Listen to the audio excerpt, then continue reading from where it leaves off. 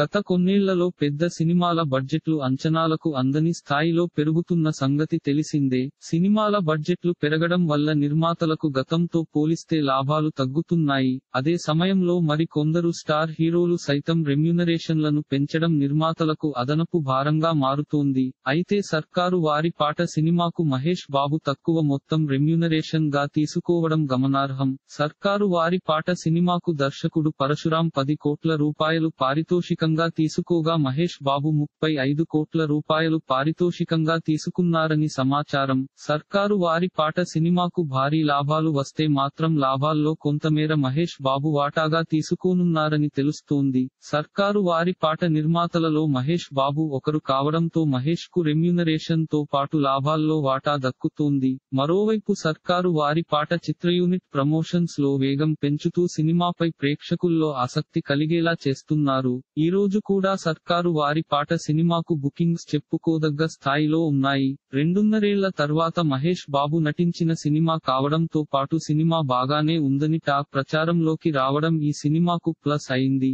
Lady ఫ్యాన్స్కు ఈ cinema బాగా నచ్చేసిందని వార్తలు ప్రచారంలోకి వస్తున్నాయి. సర్కారు వారి పాట సినిమాను ప్రదర్శిస్తున్న థియేటర్లలో లేడీ ఫ్యాన్స్ సందడి చేస్తుండగా ఆ వీడియోలు నెట్టింట వైరల్ అవుతున్నాయి. అయితే బి సి సెంటర్లలో మాత్రం ఈ సినిమా కలెక్షన్లు ఆశించిన స్థాయిలో లేవని చాలా మంది అభిప్రాయం వ్యక్తం చేస్తుండటం గమనార్హం. సర్కారు వారి పాట ఫుల్ రన్లో ఏ స్థాయిలో కలెక్షన్లను సాధిస్తుందో చూడాల్సి ఉంది. ఇలాంటి మరిన్ని తెలుగు వార్త విశేషాలు కోసం ఛానల్కి సబ్స్క్రైబ్ చేసి గంట నొక్కడం మర్చిపోకండి.